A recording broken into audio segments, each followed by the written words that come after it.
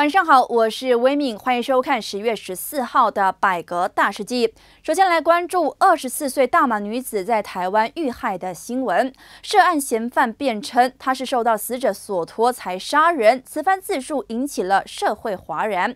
死者一名友人在接受《新洲日报》访问时表示，不相信这个说法，透露死者数天前才说想要拍更好看的照片。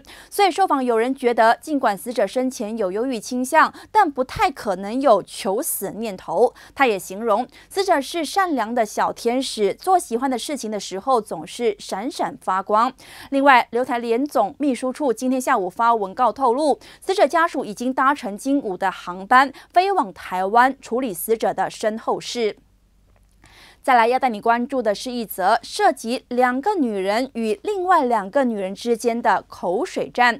事源行动党原任四盐末区国会议员杨巧双在推文的一句快速扫了一眼，以为是螺丝码。而这个新闻的主角就是昨天突然请辞的乌统吉打州行政议员苏拉雅。结果杨巧双的这个推文招来了乌统女青年团团长扎西达的严厉炮轰。作为女。女青年团的第一把交椅的他，指责杨巧双无理以貌羞辱人，还促请选民通过选票惩罚行动党。对于扎西达的抨击，杨巧双也非省油的灯，说道：“就算有其他人看起来像罗斯玛、纳吉或者是扎西达，又有什么问题呢？”强调自己没有以貌羞辱罗斯玛。伊斯兰党中委会昨天议决与国盟合作迎战第十五届全国大选，此番宣布被解读是在土团党和乌统之间，一党选择了土团。针对不和乌统合作的课题，今天一党主席哈迪阿旺就有一个有趣的形容。Tapi kita tak gopo, macam buah durian lah, jangan kait cepat sangat. Kalau kait cepat sangat, dah dah masuk lagi, maka kembur perut.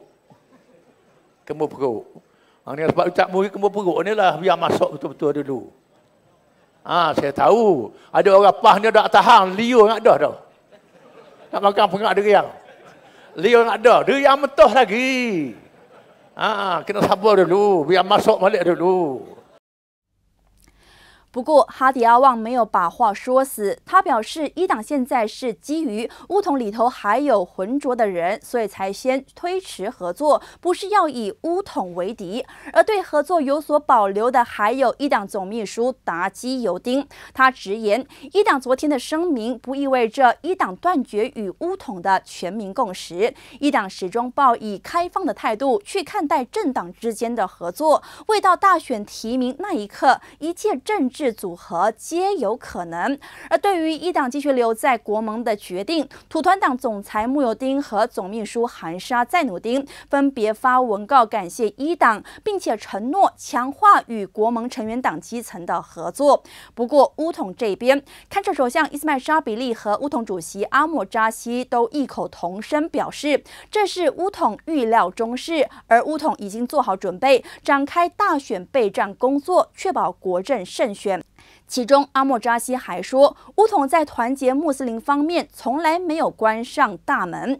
另外一方面，阿莫扎西也点名2018年12月背叛乌统的领袖，并且形容他们现在一定很难过，因为乌统透过柔佛和马六甲州选证明了自己的实力。最后来看，西蒙是否解散执政的三个州议会成了热议话题。虽然西蒙主席理事会之前表明最迟今天公布详情，但至今还没有消息。而外界盛传雪州和森州主张不要解散州议会，但是槟城则想要同步解散。那么呢，我们来看一下今天新动党主席林冠英就指出，西蒙主席理事会将会在明天早上召开会议商。讨解散滨州议会的事情，并做出最后的决定。他表示，如果西蒙三州没有一起解散的话，他理解会遭受到政敌的攻击。但是现在没得选择，因为人民要同步解散的反应很激烈，现在都没有听到不要同步的声音。